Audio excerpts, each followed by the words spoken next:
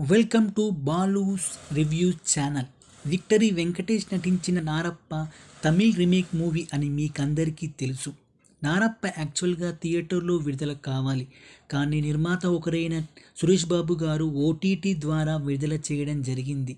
Cinema కథ విషయానికి వస్తే అనంతపురం గ్రామంలో వెంకటేష్ ప్రియమణిల ఫ్యామిలీ సంతోషంగా జీవిస్తూ ఉంటారు.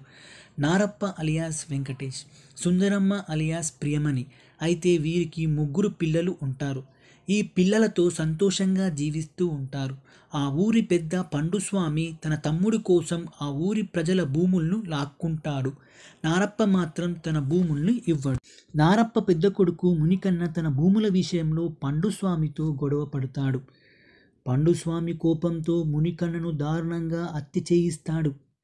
అన్నను చంపాడు అన్న కోపంతో నారప్ప చిన్న కొడుకు చిన్నప్ప పండుస్వామిని చంపివేస్తాడు ఆ తరువాత పండుస్వామి కొడుకులు నారప్ప ఫ్యామిలీని చంపాలని చూస్తారు. నారప్ప తన చిన్న కొడుకును ఏ విధంగా రక్షించుకున్నాడో ఈ కథ మొత్తం నడుస్తూ ఉంటుంది. ఈ సమయంలో వెంకటేష్ తన ఫ్లాష్ బ్యాక్ సీన్స్ పంతొమ్మిది వందల ఎనభై సంవత్సరంలో తన ఫ్యామిలీ భూస్వాముల మధ్య సంఘటన సన్నివేశాలు చాలా బాగా చూపించాడు దర్శకుడు శ్రీకాంత్ అద్దాల. ఒరిజినల్లో ఎమోషన్ని ఎక్కడా మిస్ అవ్వకుండా దర్శకుడు శ్రీకాంత్ అడ్డాల చిత్రీకరించాడు. వెంకటేష్ నటన ఈ సినిమాకు ప్రధాన ఆకర్షణ. ఫస్ట్ హాఫ్ టోటల్ సినిమా మొత్తం నెమ్మదిగా ఉన్న ఉన్నప్పటికీ నారప్ప పెద్ద కొడుకు చనిపోయిన తర్వాత సినిమా వేగం అందుకుంటుంది. వెంకటేష్ గారి ఎమోషన్ సీన్లో చాలా బాగా నటించారు. నీ దగ్గర భూమి ఉంటే తీసుకుంటారు. డబ్బు ఉంటే లాగేసుకుంటారు.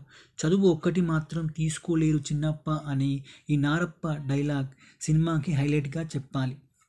సుందరమ్మ పాత్రలో ప్రేమని బాగా నటించింది మునికన్నగా కార్తీకరత్నం చిన్నప్పగా రాఖీ బస్వయ్యగా రాజీవ్ కనకాల లాయర్ వరదరాజులుగా రావు రమేష్ శంకరయ్యగా నాజర్ ఎవరికి వారు అద్భుతంగా నటించడం జరిగింది.